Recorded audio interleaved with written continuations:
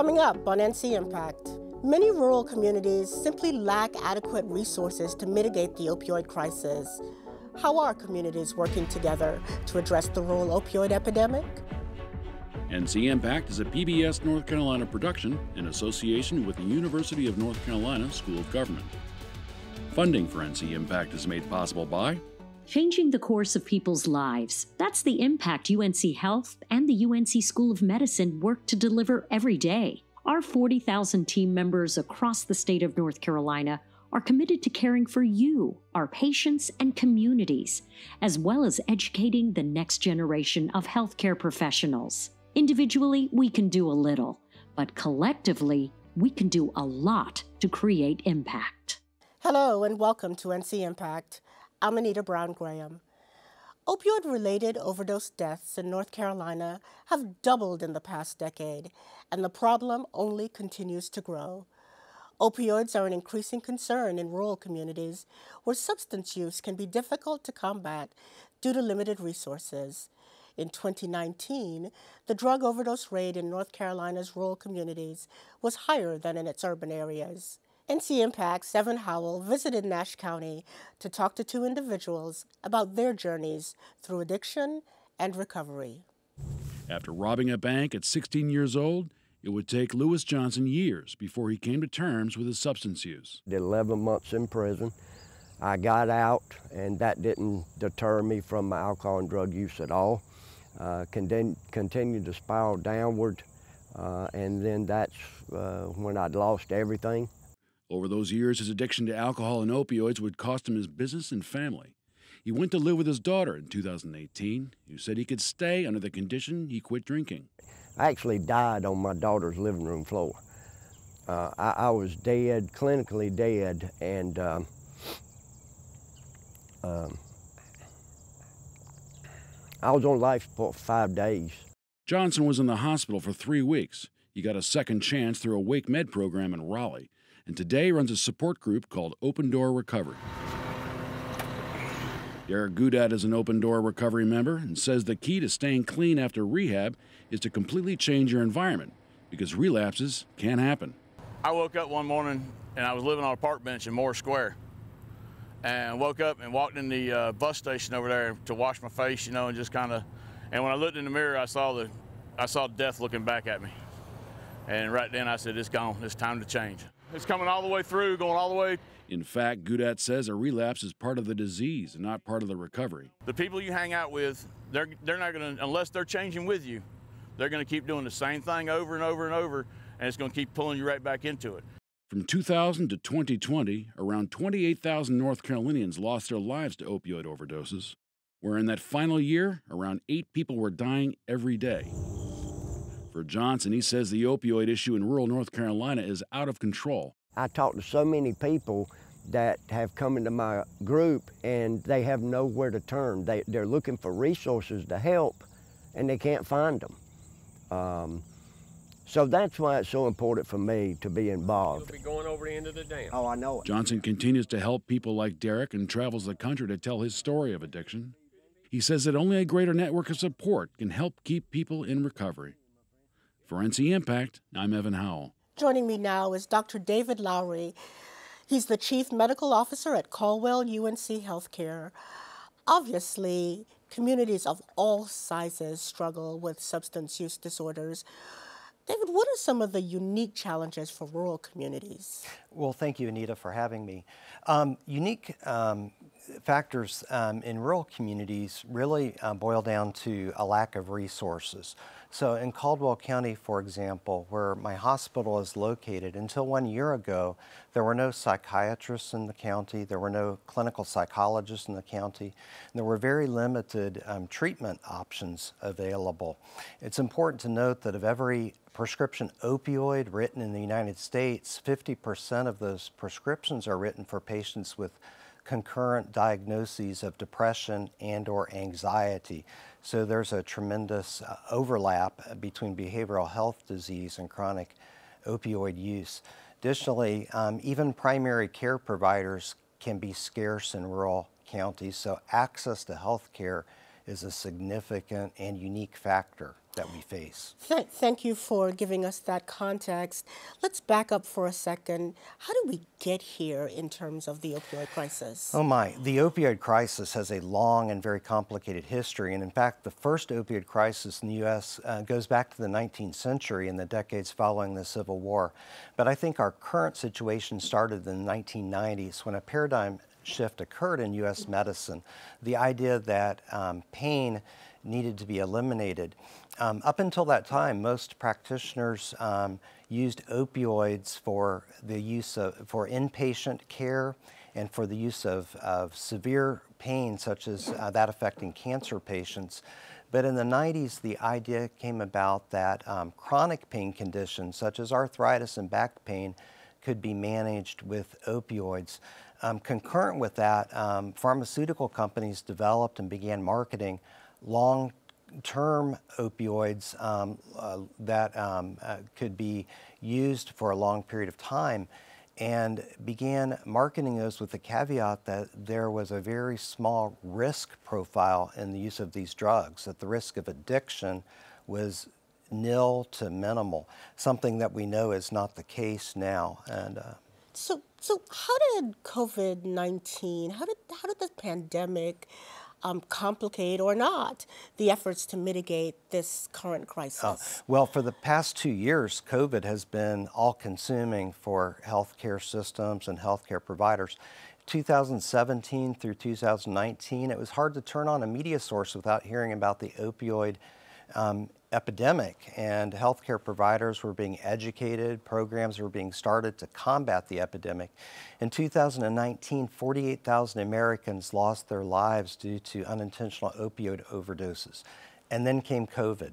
It, um, uh, it was hard to hear about the opioid crisis anymore because COVID was all consuming. But the sad fact is that in 2020, 100,000 Americans lost their lives due to unintentional opioid overdoses. The opioid epidemic did not go away, it was just silenced um, by COVID. Thank, thank you. Thank you yes, for that. Many rural communities lack the resources needed for prevention, treatment, and recovery.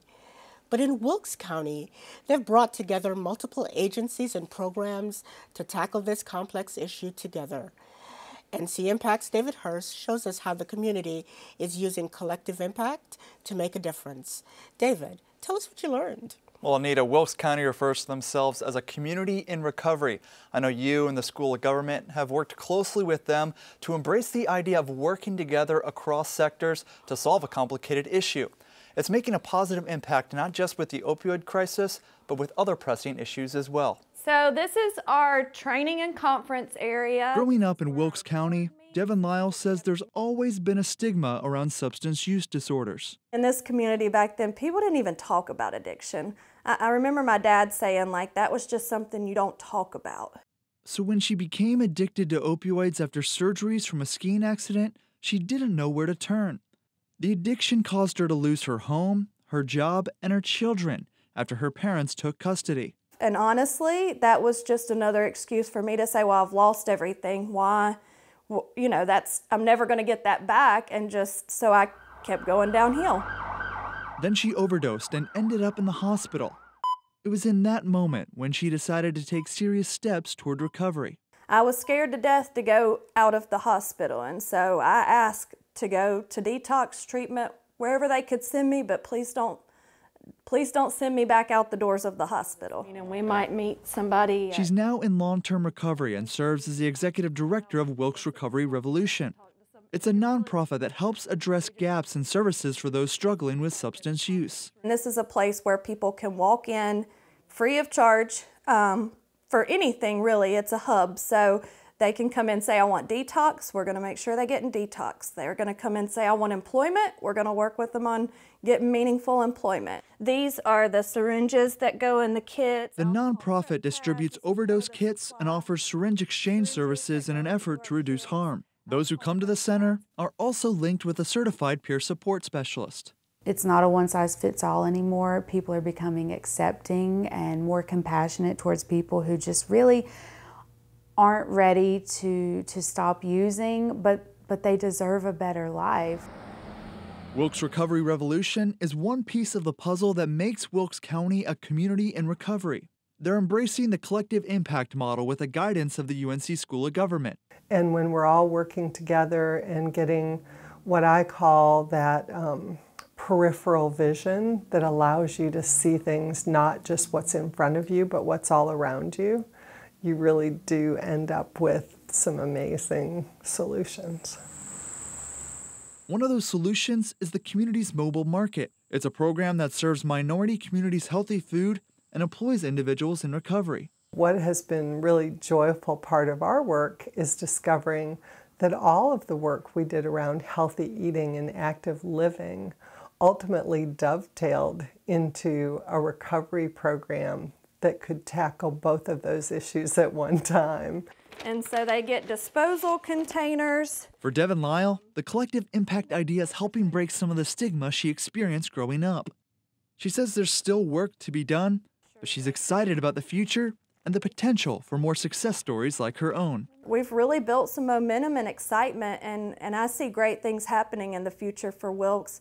As long as people stay at the table, have the, have the tough conversations, and put in the work and the process and the things that need to be done to see what's going to work and actually implement successful programs. And Project Lazarus also originated in Wilkes County. It's an overdose prevention model that has been so successful, it's become the statewide model to reduce opioid misuse. Anita, many communities across the nation have implemented it as well. Thank you, David. I am always so impressed by the work in Wilkes County. Joining me now is Judge Elizabeth Heath. Judge Heath is the Chief District Court Judge for Judicial District 8. Judge, your three county district is also using collaborations to tackle this issue. Could you tell us a little bit about what some of the impacts have been? Sure. First of all, thank you for the opportunity to be here. I love having the chance to talk about this important work. Um, I've been at this a long time and been through a lot of stages with it. And in the last uh, two or three years, I guess, really have worked to develop and keep together collaborative effort in our district. We are three counties, so it has been very important for us to bring in as many folks as we can to work on the project of our drug court.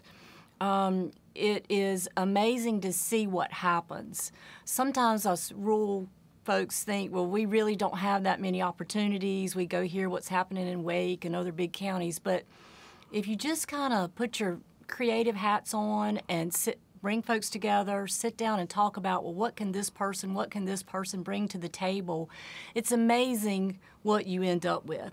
And I have just witnessed that. And once you start that ball rolling, people you can't hardly stop it they they want to be there they come to the table and they come up with their own ideas and they're right there willing to to pitch in and help I love that. So your region, your district went through the opioid response project that Wilkes County went through, along with eight other communities. It's hard work. I know it's hard work. What is your advice to other communities interested in this kind of collaborative solution? Yeah, so that was really the beginning of, of really making a big turn in our success was participating in that project. And it was just kind of something that came across my desk, that opportunity, and I didn't really have any help for doing that kind of thing at the time. We just was one other person I we just applied. We got into that and it started one thing after another happening. So I think my advice about that is that um, just continue to to research what opportunities are there, and you never know which one is going to turn into something. So try them all. I'm about um, don't you know don't be picky. Try everything you can. You never know where it's going to lead. And um, there are now just in the last three years there are so many more resources out there that are available for um, developing projects like ours, like drug courts. There are all kinds of um, uh, federal grant grant opportunities and other um, entities that will help you if you're interested in getting a drug court started. We're going to come back and talk about resources later. Okay. Thank you for that. As we've heard, rural counties have seen an upward trend in opioid use and drug overdoses during the COVID 19 pandemic. In eastern North Carolina, agencies are working hard together to develop harm reduction strategies. NC Impact's Melody Hunter Pillion introduces us to the work of the 2nd Judicial District Opioid Coalition. Melody, what did you learn?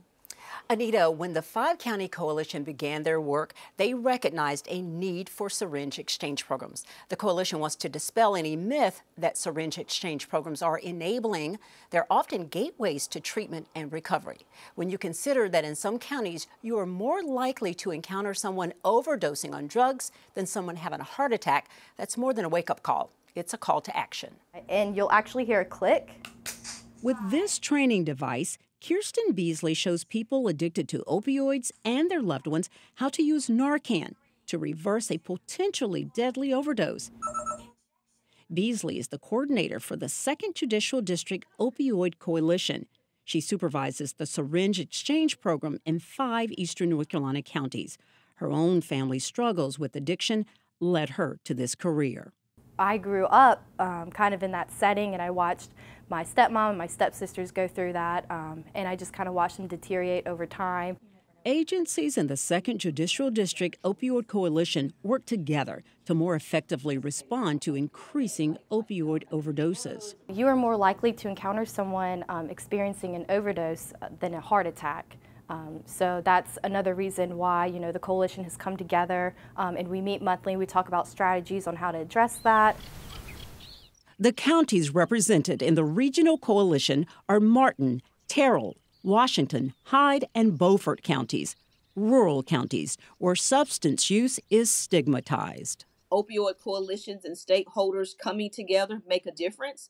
So if we can do it in our rural community, anyone can do it. And so that's the hope I hope uh, that I want to offer other communities like ours. Like here we have tourniquets. The coalition syringe exchange program is all word of mouth. The program serves about 100 people a week. Band-aids, of course. It's a program that treats the whole person. So eventually we want people to go from the harm reduction to treatment and eventually to recovery.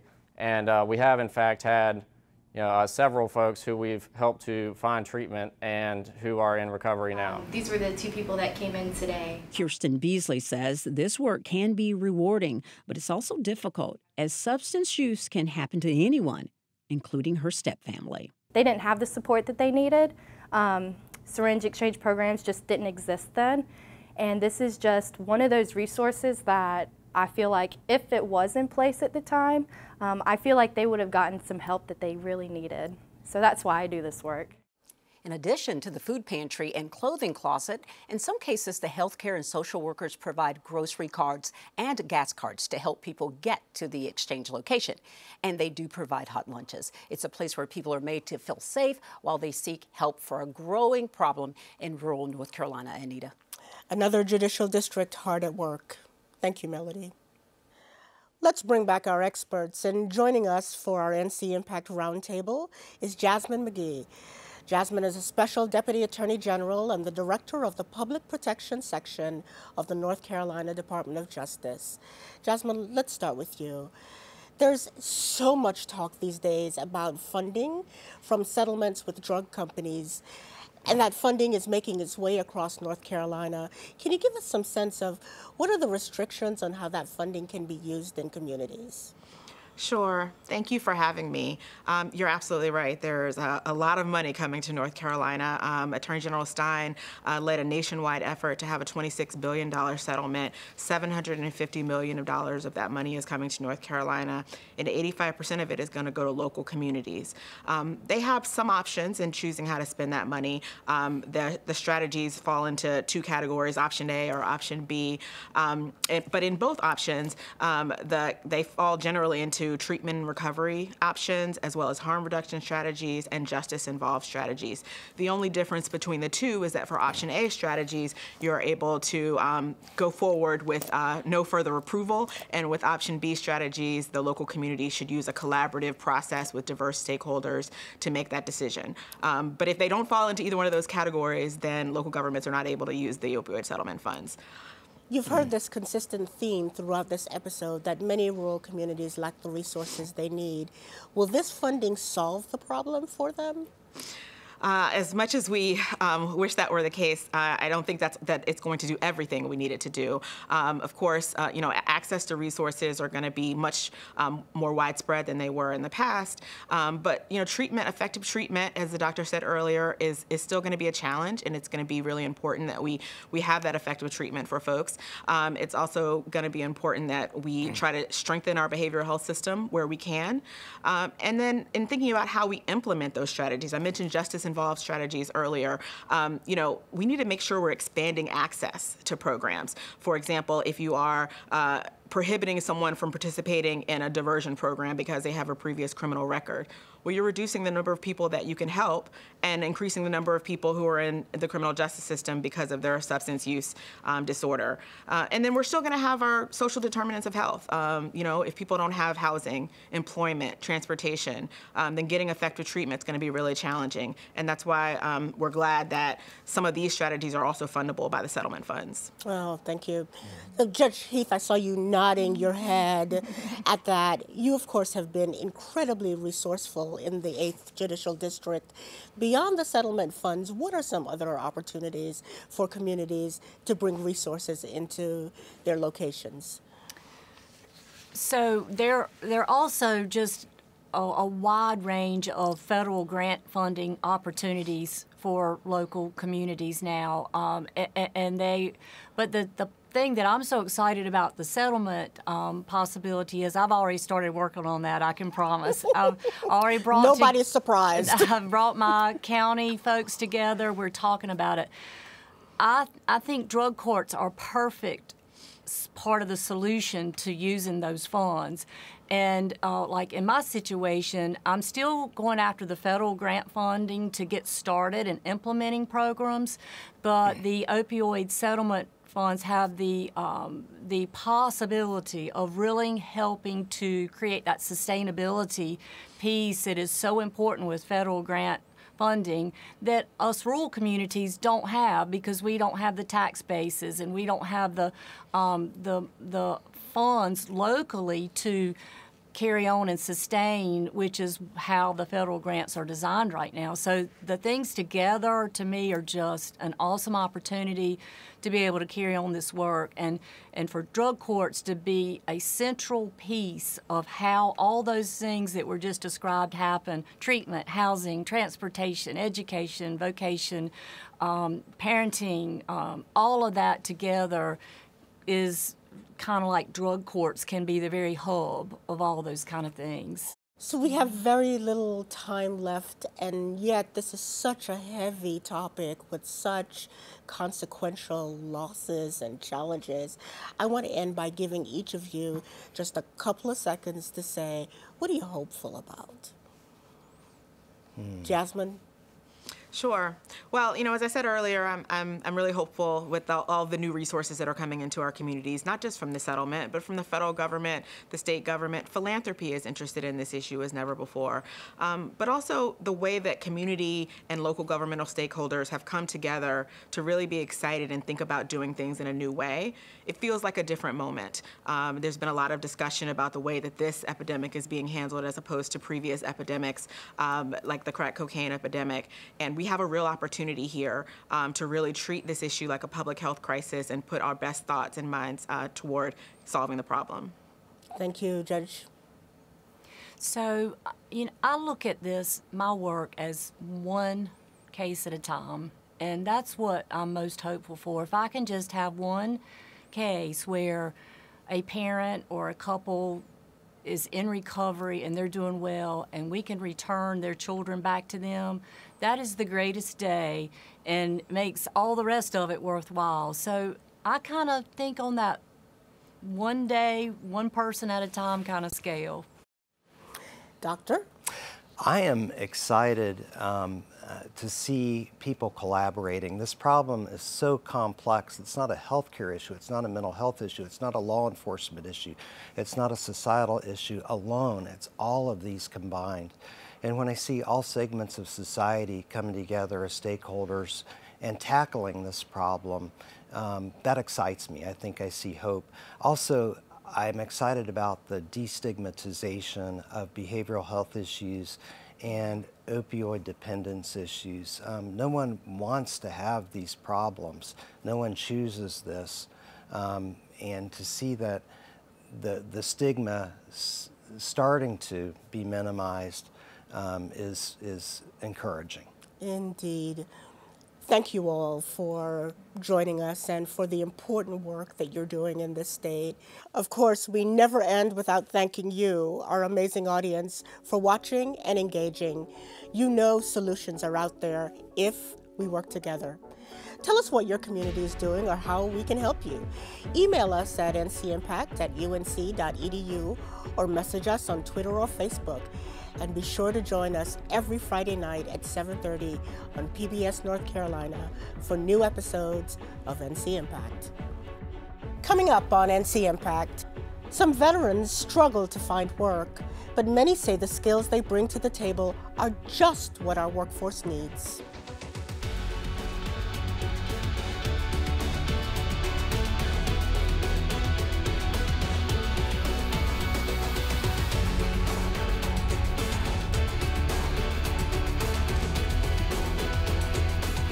NC Impact is a PBS North Carolina production in association with the University of North Carolina School of Government.